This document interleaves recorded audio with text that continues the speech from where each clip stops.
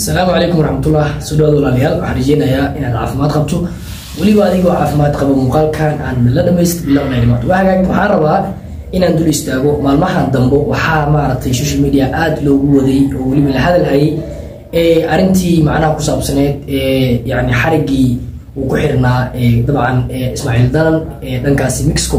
Isagoo weliba dahrib uu ahaa maalmihii yani lagu guda jiray intii la dhahayay maraykanka ayaa waxaa derbi laga boodaya dadkao dhan maaragtay maraykanka wada yaacay waxaa dhacday in fanaanka ee lagu xiray dabcan isagoo ku sii wajahan maraykanka mexico oona lagu haysto xuduudda.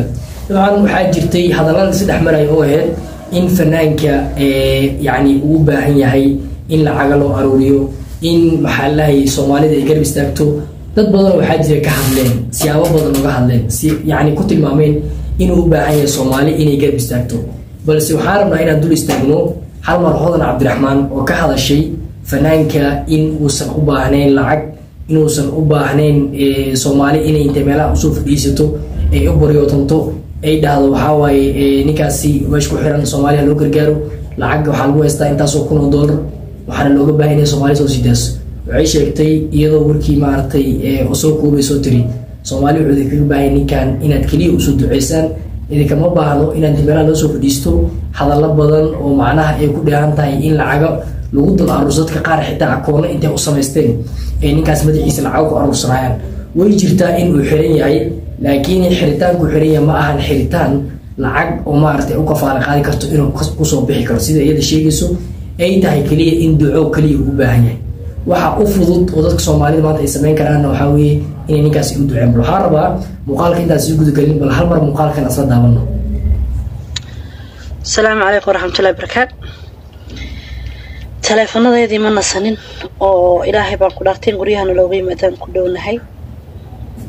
Asalaamu calaykum waraxmatullahi barakaat waxaan u soo galay inaan laba muhiima idiin sheego maadaama soomaali aan mar iyo laba iyo hadal iyo kelmad lagu qancin karin inta youtuberka ah inta fanaaniinta ah inta social mediaha fadhida ee isdhex cararaysa ee gabadh maskiina been ka samaysanaysa ee reer dhan beena ka samaysanaya ee ummad bini aadan u gafaya waxaan idiin sheegayaa wixii aad u bareedhaan idinka ilaahay baa aakhira xisaabtamaya laakiin hal mid oo muhiimaan idiin sheegayaa ninka la yidhaahdo ismaaciil danan nin rag iyo rabilo weeyaan. Raquriicdo oo qadeeyo casheeya ayuu ka dhasho magaaladan degan haddaad sidaa kale aan idinku dhiga hadalka saad idinku wuxuu fahantaan nin lacag u xidhan maaha nin lacag u baahan maaha nin lacag in loo aruuriyo u baahanna maahan. Nin looyar ummadda soomaaliyeed uga baahanna maahan. Intaba inaadeer wuu haystaa. Damaad fahanteen waana laga warhayaa. Intaan idiin soo fadhiisano kanuu haystaa kanuu haystaa san iyo san iyo kiiskiisana da idinkama sheekaynayno damaad fahanteen ninka waxaan idiin sheegayaa dadka baahi badan baa jira. Dad xanuuna meel la jiifaa jira ummad soomaaliyeeda oo maybe aanan caan ahayn oo dee iyo kuwa caana intaba waxaa jira dhibaataysan. Kuwa u gurmada insha allahu tacaala. Oo xoolaad haysaan? Kuwaas siiya. Annagana la soo socodsiiya gacmaan ka gaarsiisaninahay sida kalena khayr baan idin rajaynayaa. Waxa kaliya idin ismaaciil idinka baahanyana waa duco. Markaa ducada ku soo kaalmeeyanaan ka yar. Bilahi calaykum. Hagaag. Dabcan waxaad dhegaysateen muuqaalkaasi hodan cabdiraxmaan ay kaga hadlayso in ismaaciil uusan u baahnayn dadka qaar. Intay meel soo fadhiistaan youtubera hadday noqdaan hadday tiktokara noqdaan hadday noqdaan dadka been abuurka sameynayo in ay xitaa familigii xitaa isaga ka dhashay in xitaa ay lagu been yani abuuray beena loo gudbiyey. Waxyaala macnaha ku saabsan in wiilkooda macnaha meesha ugu xiran yahay dayac iyo waxaa weye lacago badan oo loo haysta iyo in macnaha dowladda ay ugu dhegan tahay meesha uu ku xiran yahay in looga baahan yahay balse waxay tiri iyada say sheegayso waxay tiri lacag uma baahna ninkaasi waa uu ka dhan yahay.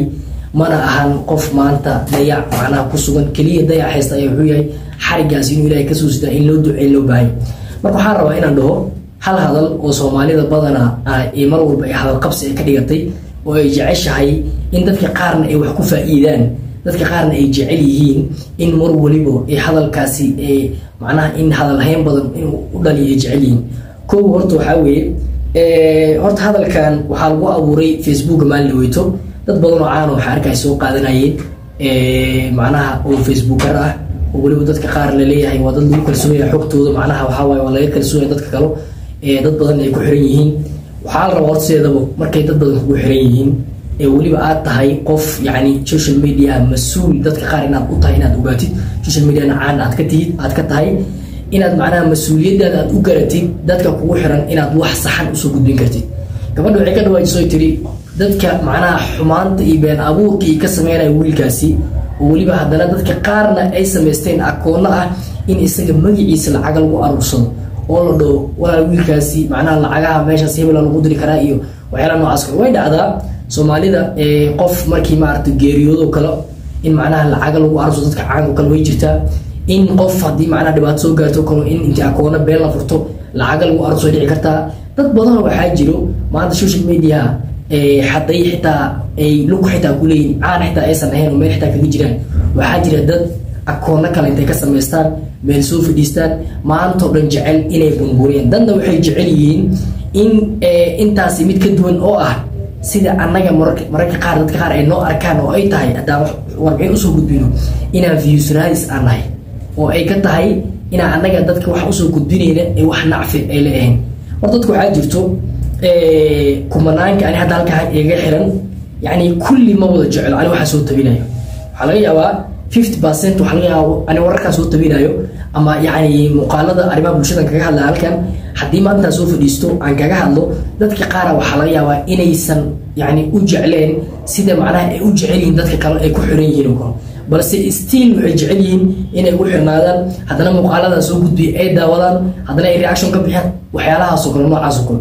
Balse fanaanka dad waxaa jira youtuber ah oo yacni ku tilmaamay fanaanka in macnaha caawinaad uu baahan yahay soomaali inay u istaagto loo baahan yahay balse gabadha fanaanadaada hodan cabdiraxmaan waxay sheegaysaa oo ay tiri aniga ayaa idiin sheegayo fanaanka wuxuu idinkaga baahan yahay duco keliya waana run qofka yacni horta waxa koowaad aada u awoodi xitaa haddaadan u awoodin xitaa laftarkeed inaad wax siiso.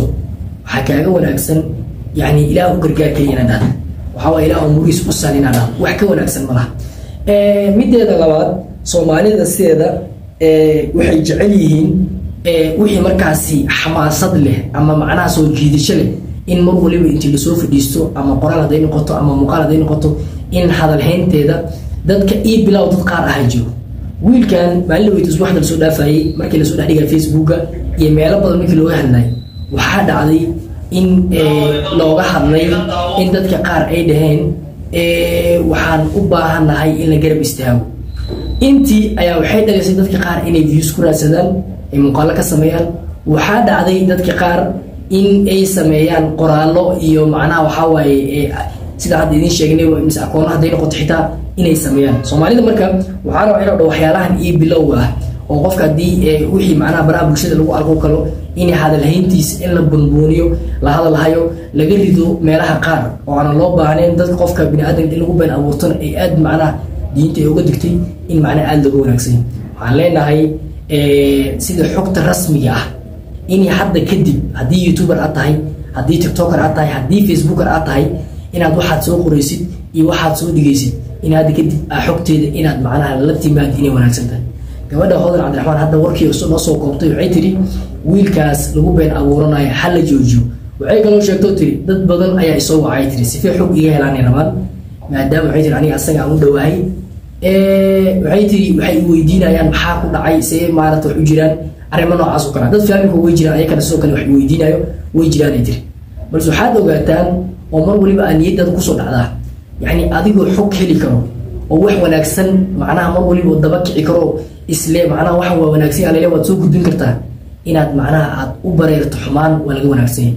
Dabcan saad hadda hadalkaba ku maqlaysaan annagana idin xaqiijineen waxaad ogaataan in fanaankaasi uusan u baahnayn wax lacaga loo aruuriyo ama akoono beeraad ah dadka ka samaysteenna inay waxaas wax been ay yihiin. Sida noo sheegayso horaanna muuqaalo horay dad horey u soo duwayn laakiin aan la aamini karin laakiin hodan oo fanaanka aada ugu dhow ayaa wax waliba hadda noo cadeysay waxaan leeyahay soomaaliya waxyaalahaan meel cilda mar walba aad jeceshiin wax ku bixisaan iyo waxyaalaha beenta inaad dhegeystaan qiyaari aad jeceshiin. Hal iska yareeyo muuqaalka noo laygare haddii marka hore muuse ku taxkule halkaan rukumo ka mid noqo asxaabta kumanaanka ugu xiran arrimaha balaha bulshada updateka ugu dambeeyey halkaan aan kula soo wadaagno. Midkaan midka xiginta kulmi doona waxaan ku leenahay wassalaamu calaykum waraxmatullahi tacala wabarakaatu